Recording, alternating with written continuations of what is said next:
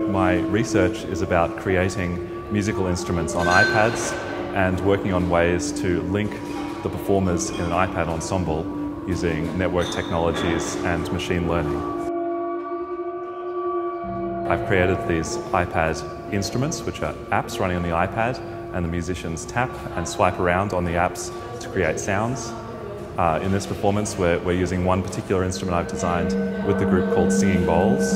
Each of the concentric circles in the app represents a different note, and when the performers touch that, the colour that, that occurs in that circle is related to the pitch of the note. So the performers sort of get this idea of harmony coming out from the different colours that come on the screen.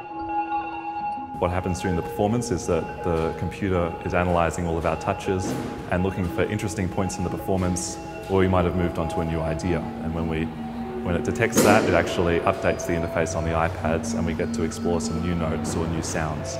So it's a, it's a way of linking an ensemble of performers together using uh, technology.